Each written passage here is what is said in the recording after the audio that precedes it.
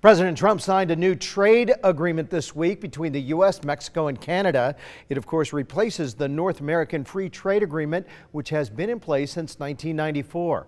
Among the changes, a new deal promising to reduce trade restrictions on the U.S. and to better open markets for farmers. Our Misty Inglet looked into how this new deal will affect Idaho's agriculture. Misty, you're here to explain what it is.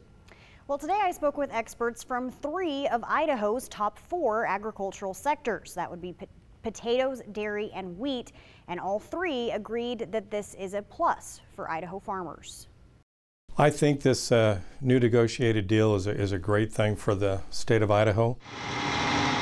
When it comes to exports, Mexico and Canada are the top two recipients of Idaho ag products. According to research from the University of Idaho, approximately 20% of Idaho's ag exports are dairy, 14% are wheat, and 37% are other crops, which includes potatoes.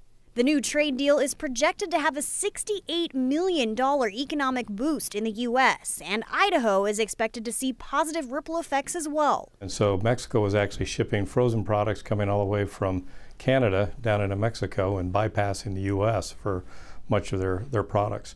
So by eliminating the tariffs, it gave us an even playing field, and uh, it's really a, a positive uh, day for Idaho potato farmers. Currently, fresh Idaho potatoes are only allowed to be shipped within the first 26 kilometers of Mexico. So the Potato Commission is hopeful this new deal is a step toward changing that restriction as well. When it comes to Idaho wheat, Canada downgrades the crop to a lower classification, which brings in a lower price.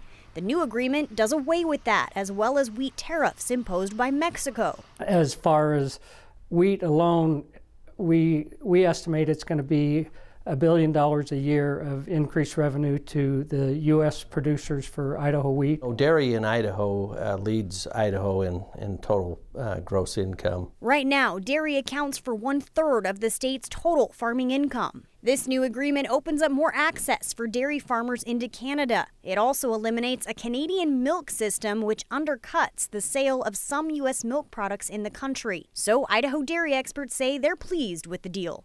I'd just say there's a great excitement throughout this, the state and the nation with this agreement. It's been a long time coming. Now, under these new terms, Canada will also end its policy of not allowing imported wines to be sold in stores, and that is also expected to have a positive impact on U.S. wineries, which could have an indirect effect on Idaho's wineries as well. Mark? We always applaud when Idaho farmers get a break. Yep. All right, Misty, thanks.